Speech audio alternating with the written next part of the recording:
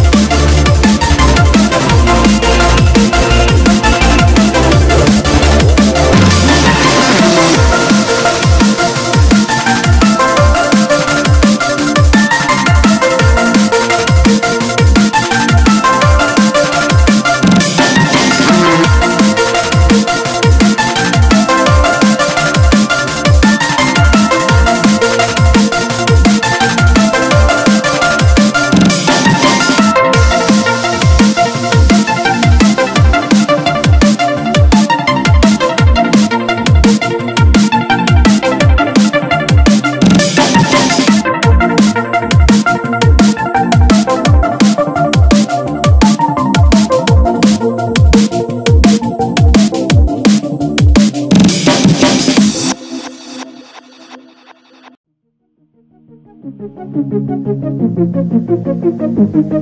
you.